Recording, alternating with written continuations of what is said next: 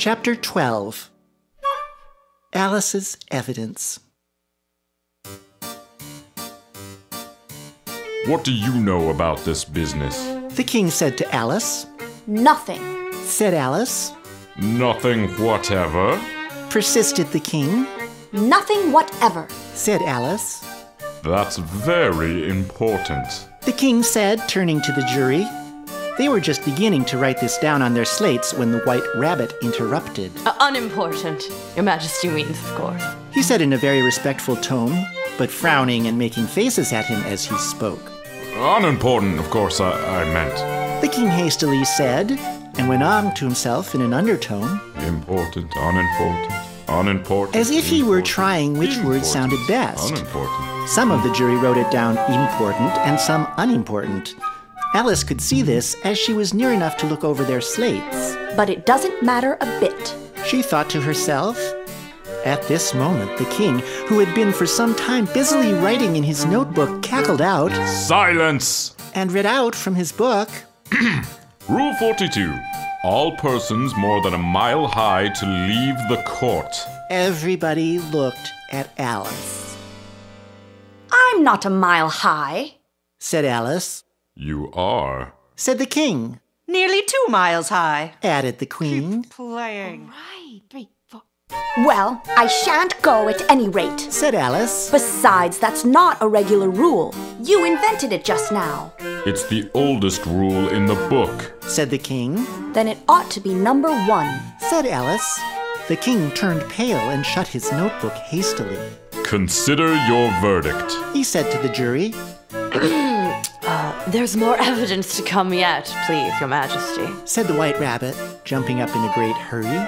This paper has just been picked up. What's in it? Said the queen. I haven't opened it yet, Said the white rabbit.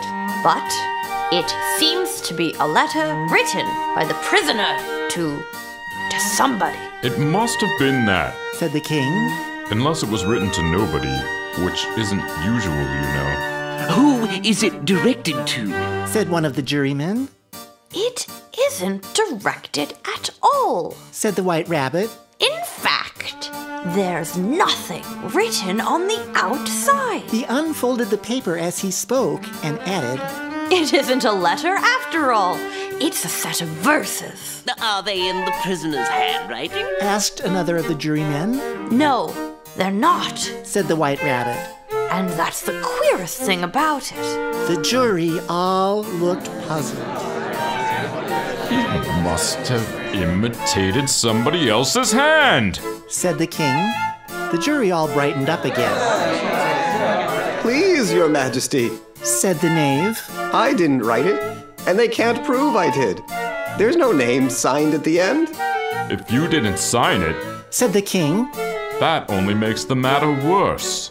You must have meant some mischief, or else you'd have signed your name like an honest man. There was a general clapping of hands at this. It was the first really clever thing the king had said that day. That proves his guilt. Said the queen. It proves nothing of the sort. Said Alice. Why, you don't even know what they're about. Read them. Said the king.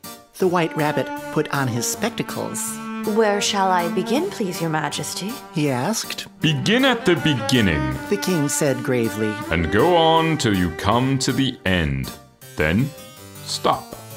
These were the verses the white rabbit read.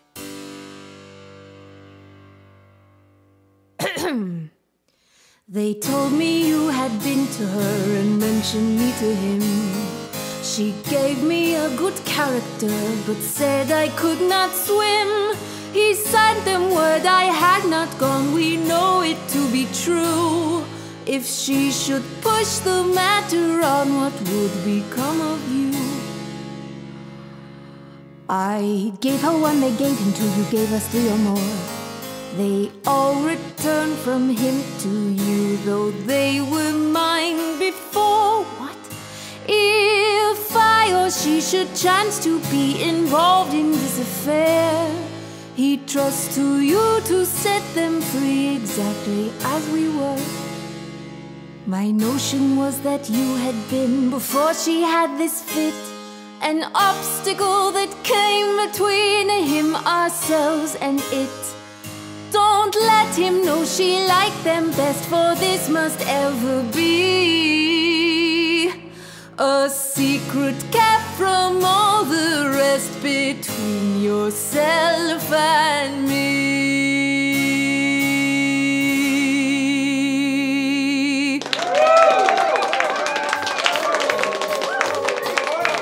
That's the most important piece of evidence we've heard yet. said the king, rubbing his hands. So now let the jury. If any one of them can explain it, Said Alice. She had grown so large in the last few minutes that she wasn't a bit afraid of interrupting him. I'll give him sixpence. I don't believe there's an atom of meaning in it. The jury all wrote down on their slates, She doesn't believe there's an atom of meaning in it. but none of them attempted to explain the paper. If there's no meaning in it, Said the king. that saves a world of trouble, you know, as we needn't try to find any. And yet, I don't know. He went on, spreading out the verses on his knee and looking at them with one eye. I seem to see some meaning in them after all.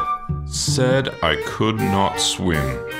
You can't swim, can you? He added, turning to the knave. The knave shook his head sadly. Do I look like it? He said, which he certainly did not, being made entirely of cardboard, All right so far. said the king, and he went on, muttering over the verses to himself. We know it to be true. That's the jury, of course. I gave her one, they gave him two. Why, that must be what he did with the tarts, you know. But it goes on, they all returned from him to you. Said Alice, Why, there they are! Said the king triumphantly, pointing to the tarts on the table. Nothing can be clearer than that. Then again, before she had this fit. You never had fits, my dear, I think. He said to the queen, Never! said the queen furiously, throwing an inkstand at the lizard as she spoke. Then the words don't fit you. said the king, looking round at the court with a smile. There was a dead silence. It's a pun. The king added in an offended tone, and everybody laughed.